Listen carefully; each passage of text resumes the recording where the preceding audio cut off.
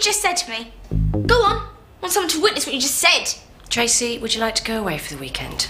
Can you believe this? Come. what were you thinking? It's not funny. It's with me and Gary. Oh, is that so bad? It's terrible. Look, I just want the three of us to go away and have a lovely time. But I can't have a lovely time if he's there. Fine. Haven't you got some packing to do?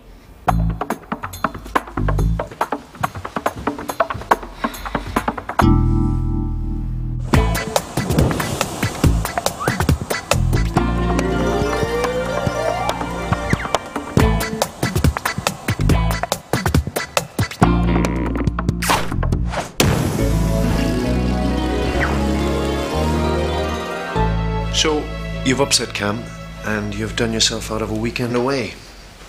Not a bad morning's work, Tracy. Don't you think you're being a little unreasonable? Go after her and say you were wrong.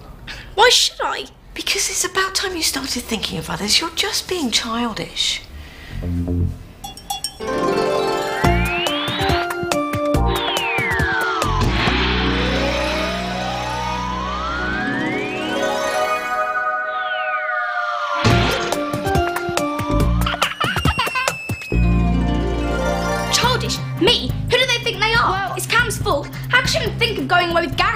Me? But she didn't- I mean, I've always been there for her. And then the minute monkey features turned up, it's all, oh, I'll do what I want now, Tracy. You can please yourself. It's all Gary this and Gary that. I mean, I can't believe she choose him over me. What is she thinking? He's not even that funny. And I've seen better looking camels. I wouldn't mind if he was rich and had a decent haircut. And he needs a shave. Does he know what razors are for? Can't believe she choose him over me. I mean, why should I apologise? Are you two listening? Uh, yeah, of course. Well, if they think I'm being childish, I'm going to give them exactly what they want. They're about to be beaked like they've never been beaked before. Glad we can help.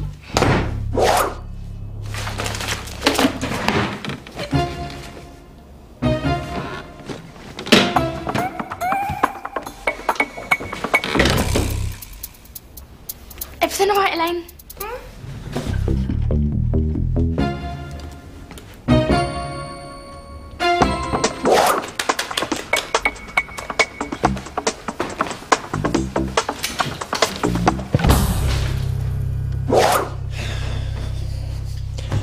Right. Who did this? Roxy? Typical. Anything bad happened, blame a Wellard. Wasn't me, right? What about you, Tracy? Mike, I can honestly say with my hand on my heart, he had absolutely nothing to do with me. What? Busted. Oh.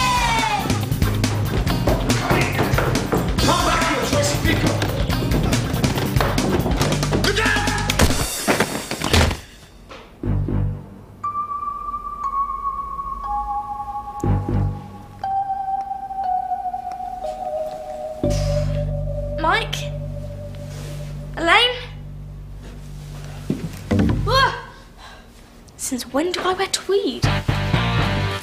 What do you want? What's going on? Don't start on me. I didn't do nothing. I mean, what are you wearing? You can't tell me what to wear just because you reckon you're in charge. I'm not in charge. Yeah, you got that right. But Talk to the hand. Can. Anything. What? What are you doing here? You being funny? No. I live here. Uh, where are you going? Uh, anywhere away from here, and by that I mean away from you. Please don't go. I need to talk to you. I don't want to talk to you. The world's gone mad.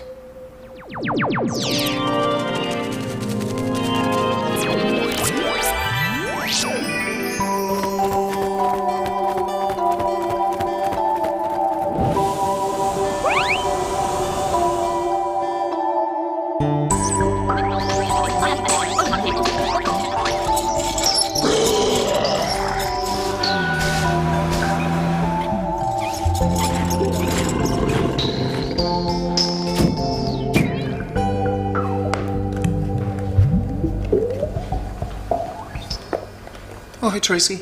Oh, Mike, thank goodness you're normal. I like to think so. The whole place has gone topsy turvy. Mm.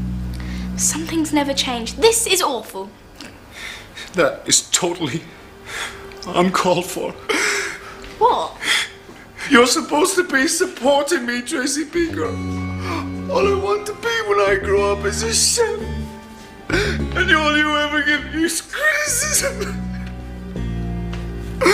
Well, if that's the case, there's only one place for it.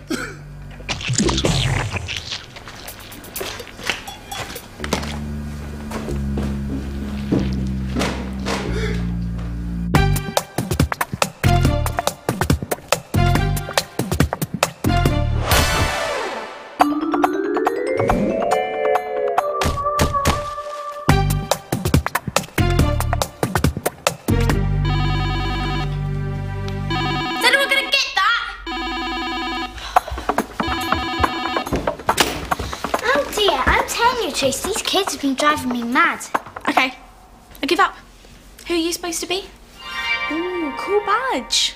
Latest gimmick from head office. Come on, you better start getting your act together. What?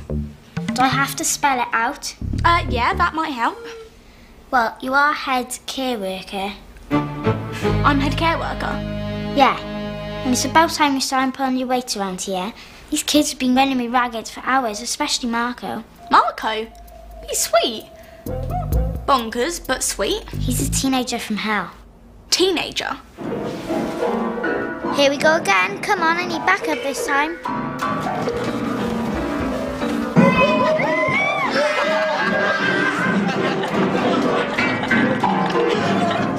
Right! that is enough. Did you two hear me? Tracy Beaker, shut your big fat gob! Millie, you don't even speak. You're joking. She's the gobbiest kid in the house. You got that right, Munchkin. Quiet! right, as I'm in charge, apparently, I want this place tidied up. So, you two, clean the windows until I can see my face in them. What for? It'll only crack 'em. Oh, you think that's funny? Well, after the windows, you can sort out the mess you made in the kitchen and then do the upstairs bathrooms. No way. Yes, way. Or you'll have no dinner and television will be banned for life. And that's just me getting started. You can't do that. Oh, I'm sorry. Hands up all head care workers in the room. Oh, just me then. Good. Get on with it. Uh, this includes you too. Uh, I don't think so. I'm going out with my mates later. No, you're not. Privileges are cancelled. I'm so gonna get you back for this. Well, I've got the power and I'm enjoying it. I'm literally living the dream, Roxy. This is a piece of cake.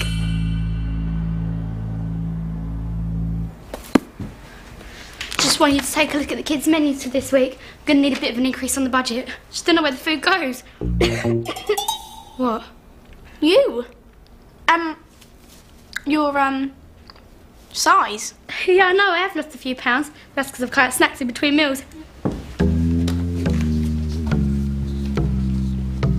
Um, what are you doing? Collecting my stuff. I've been sacked. By who? Me. And what in the name of McFly are you? I'm the Children's Home Inspector, your boss. No, not you. Anyone but you. And this is my fellow inspector. Crash. That's Mr. Crash to you. Cover a pen, please, darling. Darling, Customary greeting for a fiance. you're getting married. To her? Tomorrow. Not that it's any of your business, Miss Beaker. You've gotta be joking. You can't marry her.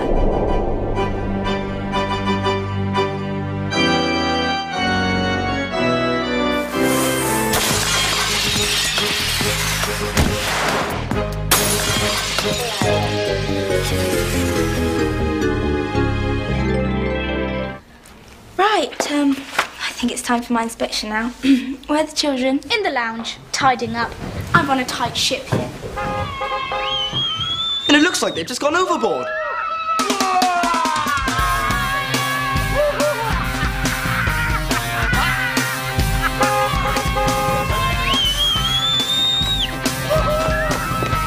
Stop that! Oh! This looks more like a sinking ship to me, Miss Beaker. But it's not my fault. They're out of control. Now, it's a poor social worker who blames their children. Right, will somebody please tell me what's going on? We're rebelling! Minga made me clean the toilets with my toothbrush. That's a lie. Well, we wouldn't act up at all if she didn't lock us in. I suppose it's just a cry for help. Is this true? No. Cam, tell Crash the truth. Do you mean about starving us as well? You don't believe this rubbish, do you? You I did not say that. She's doctored the tape badly. Isn't that right, Cam? If I say yes, can we have some food later? We're all so hungry. That's all I need to hear. You are sacked. What? Think yourself lucky we don't involve the police. I can't let Justine Littlewood sack me and walk away with Crash. Just go and tell them you made it up. No! But you're being unreasonable. You can't treat people like this. Just go and tell them you were wrong. Don't want to. But you're being childish.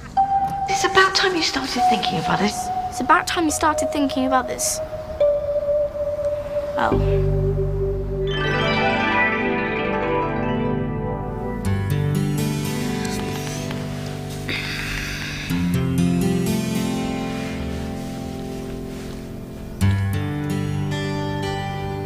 Hello. Please don't marry Justine. What? Take it easy. That's quite a bump you've had. So good to be back. You're right, Tracy. Cam, I am so sorry What? For what? for being me, I suppose, and for being unreasonable. You ought to run into doors more often.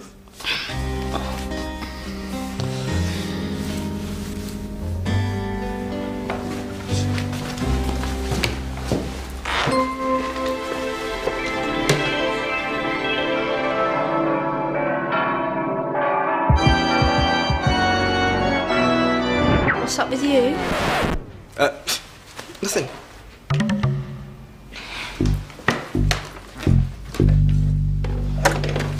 Tracy. How you feeling?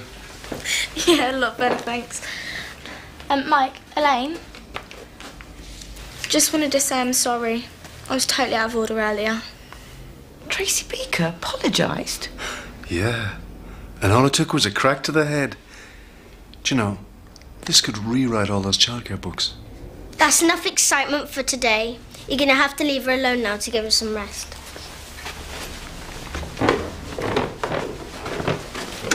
You alright, Tracy? Yeah, thanks to you, Marco. And you, Millie. Everything's back to normal.